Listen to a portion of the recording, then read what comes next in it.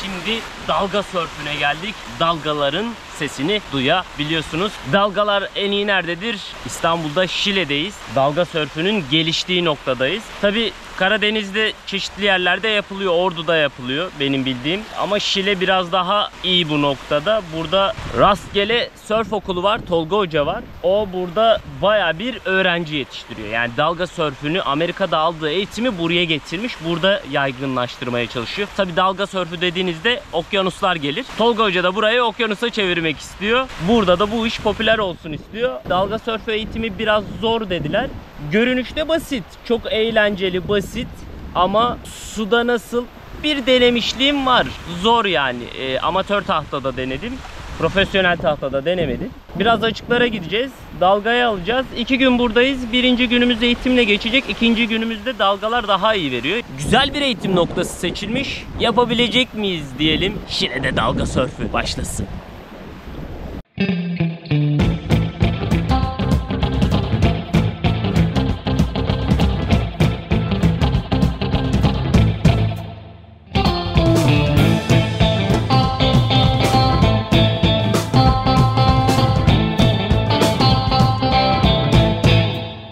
Dalganın gelen hızına sizin belli bir hızla karşılık vermeniz gerekiyor ki orta bir yerde meçleşin. Eğer o gelen dalgaya belli bir hızla karşılık vermezseniz dalga altınızdan kayıp gidecektir. Gelen dalgaya ufak ufak başladın sonra power pedal dediğimiz gibi hızlanıyorsun.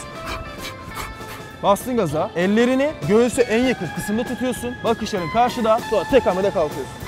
Buradaki dikkat etmemiz gereken unsurlar ne? İlk başta kalkıştaki. Şimdi tahtanın üstüne yattın, dalgan geldi, başladın, hızlandın, hızlandın, hızlandın. Ellerini göğüse en yakın kısmı tutuyorsun arkadaşlar. Önde tutarsam push-up gibi kaldırırsam ayaklarımı ve bacaklarımı kendime çekebileceğim bir alan yaratamam. Tahtanın kenarlarından tutarsam nereye fazla baskı uygularsam eğer o tarafa düşeceğim. Yani %50-50 aynı yerde tutamazsınız. Muhtemelen 51'e 49 olsa bile o tarafa doğru düşeceksiniz. O yüzden göğsünüzü en yakın kısımda tutun ki o dengeyi sağlayın. Kalktığınızda tek hamlede kalkmaya çalışın. Direkt ayağa dikilmeyin. Aynı kaykay mantığı. Giden bir kaykayda bir anda kendinizi atarsınız altınızdan kayıp gider. Oturdun, dizlerin kırık kaldı, omuzların karşıda, perviz kısmı karşıda, eller karşıda. Unutmayın nereye bakarsanız o tarafa doğru gidersiniz. Motor sporlarında veya board sporlarında aynıdır.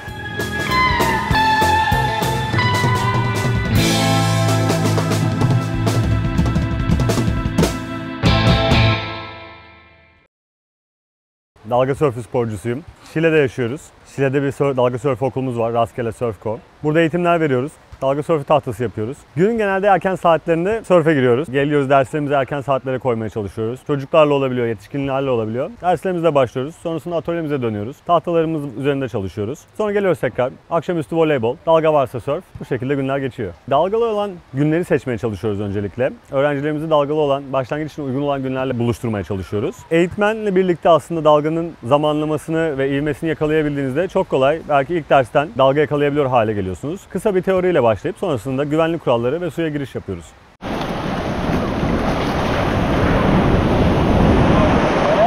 O dengede durması çok zor ya.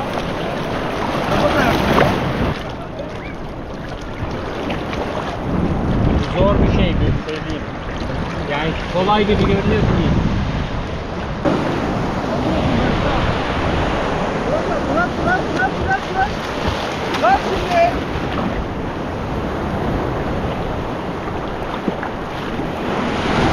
Yine zor bir şey öğrenmeye geldik.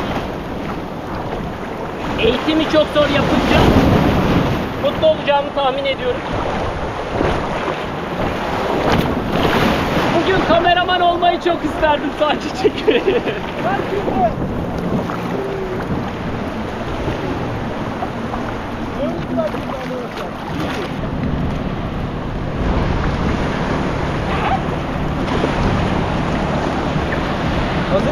Başla kılıca. Kalk şimdi. Bravo.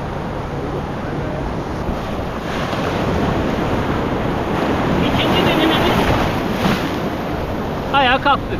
Ayağa kalktıysak bunun sonu gelir. Akşama kadar buradayız. Yarın da buradayız. Tolga Hoca ve ekibiyle muhteşem işler yapacağız. Dalga sörfü Türkiye'de de iyi numaraya gelecek. İyi bir yere gelecek. Sularımızı çok iyi değerlendireceğiz. dalganın gücünü en yoğun hissettiğin an yani şu. Acaba şu an kalksam düşer miyim dediğin an oluyor ya, o an kalkman gerekiyor. Tamam. Çünkü o an dalganın gücü en yoğun o zaman hissediyorsun. O zaman kalkman gerekiyor.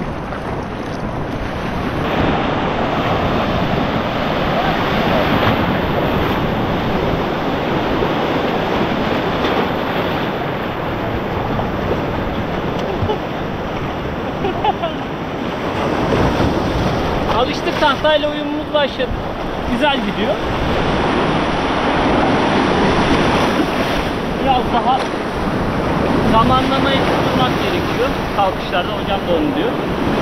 Bakalım zaman zaman bugün daha erken? Akşama kadar buradayız. Günü burada mı?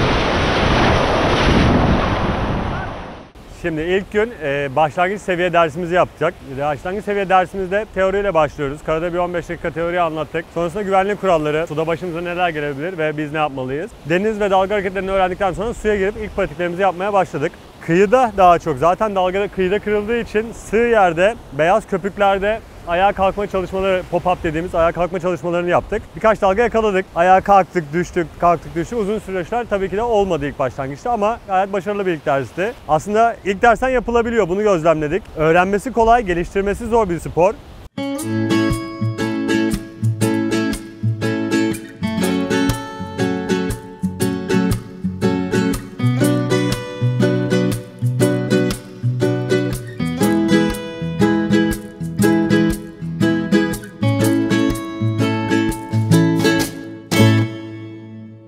Tahtaların özellikle başlangıç seviyesinde yumuşak soft top dediğimiz yani üstü yumuşak sünger olan tahtalarla başlıyoruz ki üzerine düştü veya kafasına çarptı öğrencinin bir sakatlık durumu yaşamayalım diye. 2.42 bir tahtayla başlıyor öğrenci. Çünkü yüzerliliği önemli. Ufak bir dalganın onu kaldırıp götürebilmesi açısından. Bu yumuşak tahtalarla başlayıp tahta kontrolü iyileştikçe sert yani cam elyafla kaplanmış hard top dediğimiz tahtalara geçiş sağlanıyor. Arasındaki fark yol tutuşundaki güzellik diyebilirim. Yani daha güzel bir yol tutuşu sağlaması bizim manevralarımızı daha kolay döndürebilmemizi daha profesyonel bir kayış sağlıyor. Bu büyük tahtalarda yumuşak ve sert olarak ayrılabiliyor ve daha da iyileştikçe doğru zamanlama, doğru kulaç gücünü ulaşabildikçe tahtalarımız küçülüyor giderek. Yani dalga büyüdükçe tahta küçülüyor. Aslında ilk başta insanlar için tabii daha ya hoca küçük tahtayla kayıyor ben de alayım kayayım. Hani daha kolay taşıması daha havalı gözüküyor kolumda ama öyle değil. Çünkü onunla küçük tahtada attığın 3 kulaç, büyük tahtada attığın bir kulaca eşit olabiliyor. Bu sebeple ilk başlangıçta büyük tahtalar tercih edip iyileştikçe küçültmeye gidiyoruz. Tahta yaparken de öğrencinin, kişinin kaydığı dalgaya, seviyesine, ebatlarına göre kişiye özel yapmaya çalışıyoruz ki girdiği seansından verim alabilsin.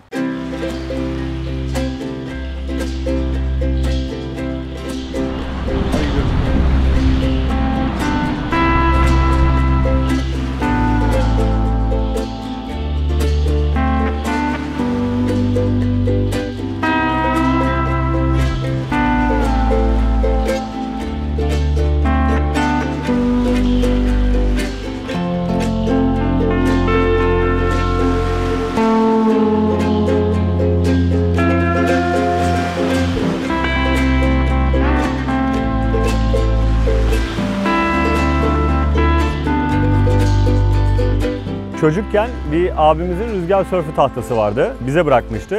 Öyle denizde oynarken birbirimizi üzerine düşürmeye çalışırken gel git zaman tabii televizyonlarda da görüyoruz. Hani dalga sörfü hep böyle bir bilinçaltımıza girmiş bir şekilde. Bir gün dalga çıkınca ben bu sörf tahtasını alıp dalga yakalamaya çalıştım. Oldu veya olmadı ama bir e, o zaman bir tutku oluştu diyebilirim. Sonrasında yurt dışına gittim. Los Angeles'ta gittim. Orada bir tahta bir araba alıp sahillere gidip yavaş yavaş orada yapanlarla birlikte bakarak, izleyerek öğrenmeye çalıştım. Akabinde e, farklı şehirlerde, ülkelerde yaşadım ve devam ettirdim bu tutkumu. E, büyürken tabii hani dalga sörfü yapmak istiyorum ama Türkiye'de hep yapılmaz diye bir algımız var. Hani Türkiye'de dalga yok ki diye bir e, bilgimiz var nedense. Böyle olunca hep okyanus aşırı ülkelerde kovaladım, devam ettim. Orada bir yerlerde iş bulmaya çalıştım, çalışmaya çalıştım ama sonrasında gelip Karadeniz'i gözlemlemedikten sonra bir yıl boyunca baktık ki burası çalışıyor ve yılın 280 günü dalga sörfü yapılabilecek dalga kondisyonu sağlıyor. Bu ta, bu gözlemimizi yaptıktan sonra da bunun burada yapılabileceğini onaylamış ve kesinleştirmiş olduk. E, son 4 senedir de Şile'deyiz, Karadeniz'deyiz. Karadeniz aktif bir deniz. Ufak olmasına rağmen dediğim gibi neredeyse yılın 280 günü dalgalı.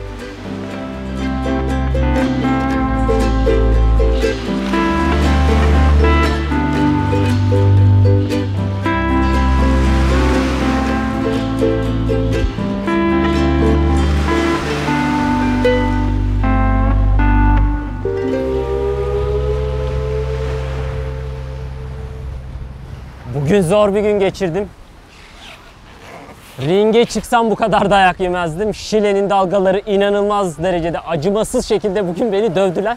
Çok zordu. Gerçekten çok zordu. Tolga Hoca biraz daha açığa götürdü bugün. Başlangıç seviyesini geçtin mi çok iyi yaptın dedi aslında. Ama orta seviyeye gelemedim. Bu tabii ki zamanla olacak bir şey. Özellikle İstanbullular Şile'ye gelin. Bunu hemen zamanında yapabilirsiniz. Yani muhteşem bir şey. Bazı arkadaşlarla da konuştum. Yani yurt dışında ben böyle dalga görmedim diyorlar. Tabii ki okyanus dalgaları daha farklıdır ama gerçekten Şile'nin dalgaları da dalga sörfü için bayağı ileri seviyede. Biz biraz geç keşfetmişiz ama keşfettik sonunda ve yapmaya çalıştık, yaptık. Şimdi ara veriyoruz, dinleniyoruz çünkü dinlenmek çok önemli. İnanılmaz bir savaştan çıkmış gibi hissedeceksiniz kendinizi. Şile'nin o kızıllığında güzel görüntülerimize devam edeceğiz. Dinlenelim. Sonra yeniden tekrar dalga sörfüne başlayalım.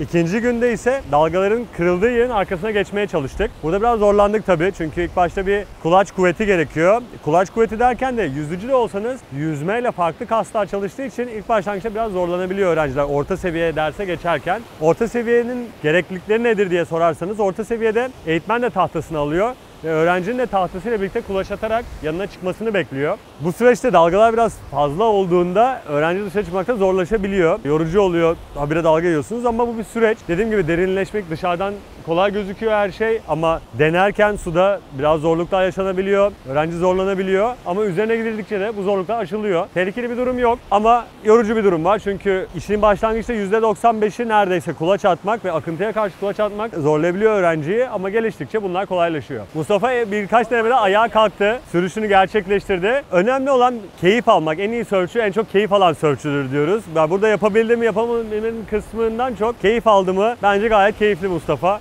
O yüzden yapabildi ve iyi bir sörfçü diyebiliriz Mustafa için.